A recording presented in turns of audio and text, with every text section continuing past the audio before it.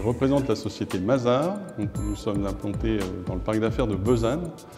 C'est la direction régionale de Mazar, puisque Mazar est un cabinet national et international, puisqu'en fait on, est présent dans 80 pays dans le monde et on est implanté dans différentes régions de France, et notamment en Champagne-Ardenne dans le Grand Est maintenant.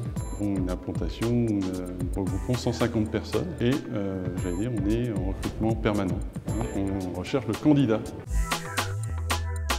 en étant en recrutement permanent, on peut dire que chaque année on recrute plus de 50 personnes, sachant qu'effectivement on a on va deux profils de collaborateurs. Des gens pour qui c'est le premier emploi, donc souvent des, des personnes qu'on a déjà pu accueillir en, stage ou lors de contrats de professionnalisation et qui euh, ensuite décident de, poursuivre l'aventure avec nous.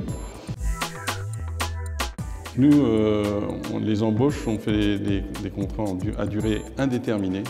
Euh, c'est très rare de prendre des personnes en contrat à durée déterminée. Alors, soit des, gens qui, des personnes qui cherchent un premier emploi, des métiers dans lesquels, comme on investit beaucoup dans la formation, les, personnes euh, savent que c'est un parcours euh, intéressant.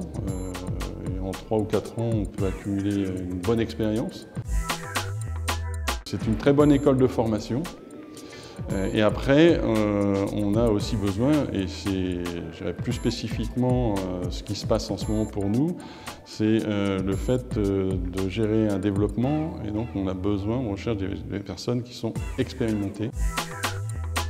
Je crois que le, conseil, c'est d'être, de démontrer dans l'entretien, d'être entreprenant, d'avoir un projet, d'avoir envie d'avancer, la capacité à être une personne ouverte et capacité de prodiguer des conseils ou d'avoir un contact avec des, clients, c'est certainement une des meilleures qualités.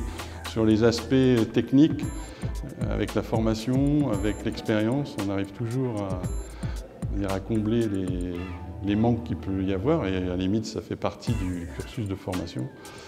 Maintenant, la, personnalité, la capacité à être euh, perçu comme quelqu'un de communicant et dynamique, c'est certainement un atout important dans les métiers qu'on exerce.